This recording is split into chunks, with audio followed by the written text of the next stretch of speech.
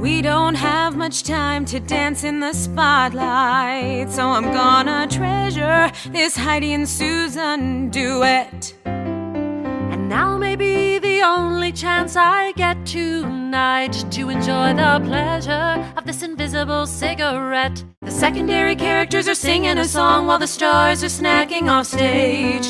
It was their idea to bring us along, and now we're hijacking this page of the script. Till this trippy skid ends, and by the end of this song, we'll be best friends. I want to apologize for any weirdness. Me too, it can be really scary being the new kid. I bet. I'll bet you bet. I do. I bet. And I also wanna say that after all we've been through, I'm so glad we've met. I feel the same shots while the guys are being stored in the wings.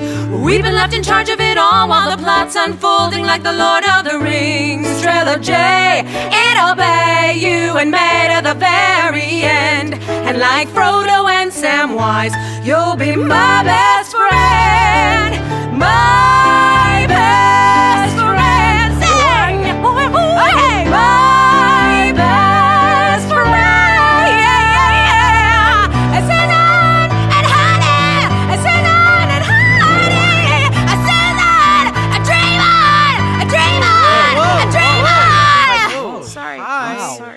Hey. What's uh what's going on?